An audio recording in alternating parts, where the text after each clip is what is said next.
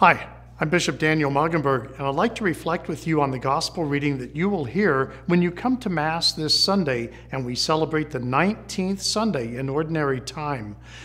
Our passage will come from the Gospel of Matthew, chapter 14. In this particular scene, we read of the disciples being sent um, across the Sea of Galilee and encountering a great storm in the middle of the night. Now, it's really significant that the disciples are described as being harassed and tormented by the waves. Um, because those are actions that aren't really um, done by forces of nature. Those are actions that are done by human beings uh, with, with ill intent to harass or to torment someone. It's really describing for us much of the situation of the early church. Um, and there's other images in this particular passage that would indicate that this really is, is meant to help us understand uh, the early church experience, especially during the times of persecution or even um, uh, the resistance that uh, early Christians felt to the proclamation of the gospel. Now, the disciples are in the middle of this storm for a very specific reason. And that is that Jesus made them get in the boat and go across the sea. And as they're in the middle of this very dangerous situation and experiencing all these contrary forces, they must have asked themselves the question whose bright idea was this?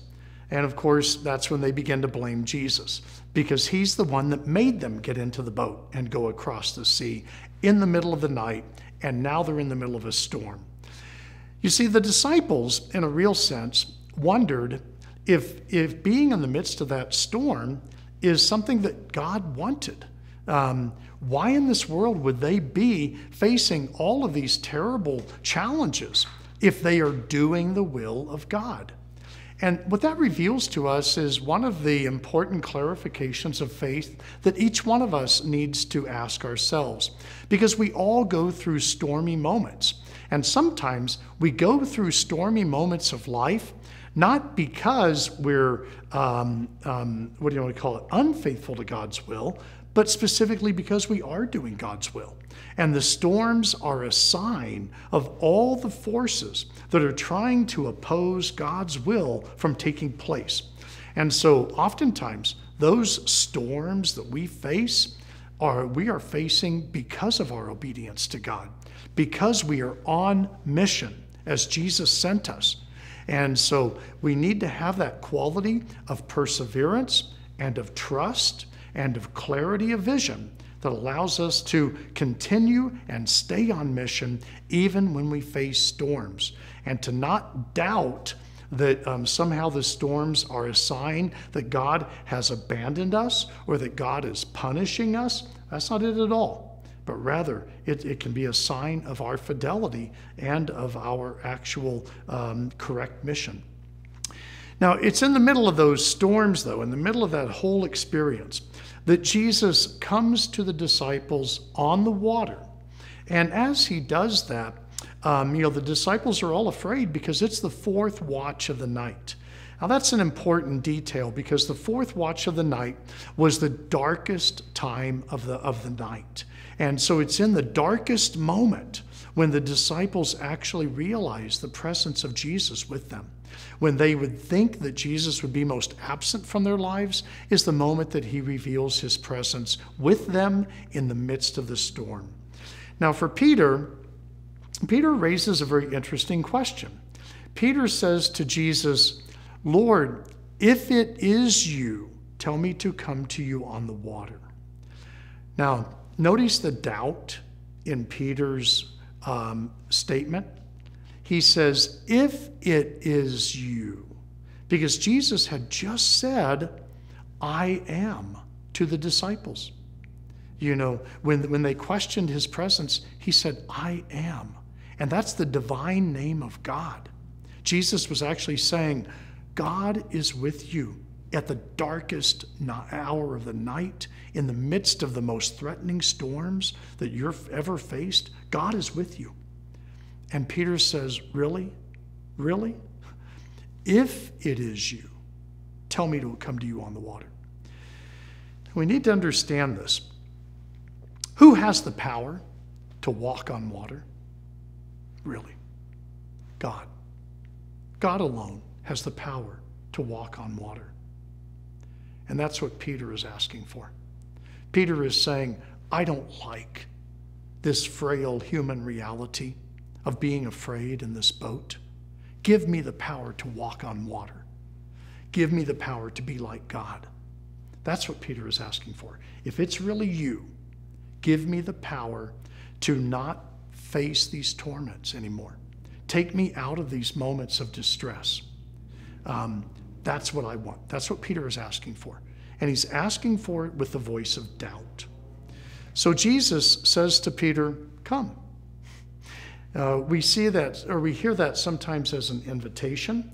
What we probably need to hear it more as is, is Jesus saying, All right, Peter, if you think, if you think that you can be like God, why don't you just give that a try? And so let's see how this goes for you. and of course, Peter does get out of the boat. And we're told that he begins to come near Jesus, but then he becomes distracted. And Peter, you know, begins to falter and he begins to sink into the water in that moment. Now, Jesus allowed Peter to come to that moment for a reason. Jesus knew that Peter didn't have the power to walk on water. You know, Peter didn't know it. Peter wanted to be like God. And Jesus wanted Peter, more than anything else, to be a disciple who trusted in him. And so Peter begins to sink. And at that moment, Peter calls out and says, Lord, save me. Now, that's the prayer that Peter should have offered all along. That's the prayer by which Peter acknowledges his need for a Savior and Jesus' power to be a Savior. Rather than wanting to walk on water and wanting to be like God, Peter should have prayed for the humble faith to be an obedient, dependent disciple of Jesus. And now Peter finally is. Peter knows that he can't do it on his own, that he's not like God, and he needs a Savior in his life. And that's when he says, Lord, save me. And Jesus can save him in that moment, and he does. Jesus then returns Peter to the boat and comments on the little faith of the disciples. Now, that comment may sound a little bit um, insulting. I think it's meant to be comforting, actually, because although the disciples' faith may be small, Jesus is still willing to work with them. He's still willing to get in the boat with them and to continue with them on mission. You know what? All of us face moments when we feel like our faith is small. Maybe we doubt God. Maybe we question the storms. Maybe we want to turn around and go back because we face a difficult moment in life. Jesus is still willing to work with us, even when our faith is small in those moments, just as he was willing to work with them. And in response, we see that the disciples pay him homage. The disciples worship him because they realize that this is not a human action. This is a sign of God's presence with them. You see, before that, the disciples presumed that God's presence meant that they would have no headaches, that they would face no difficulties, that there would be no storms. But now, Jesus has revealed to them He is with them in the midst of their storms. And their challenge is not um, to wait for smooth sailing. Their challenge is to be faithful, be perseverant, be trusting, and to call out for a Savior when we need a Savior. So, in the example of Jesus accompanying the disciples in this moment, maybe we can see some moments in our own lives where we need to have that deeper trust, uh, where we need to remember our need for a Savior. And rather than praying to be like God, who is able to triumph over the forces of nature, let's pray instead to be more um, like, uh, like Peter who was able to call out for the Lord when he needed it. And we'll have that trust. Let's pray.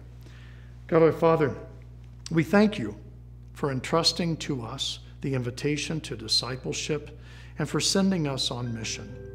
We pray that we will never doubt um, the mission that you have placed us on, but that we will persevere no matter what storms come our way, and that we will do so oftentimes because those storms are a sign of your presence, not your absence. We ask this in Christ's name. Amen. May the blessing of Almighty God be with you, the Father, the Son, and the Holy Spirit. Amen.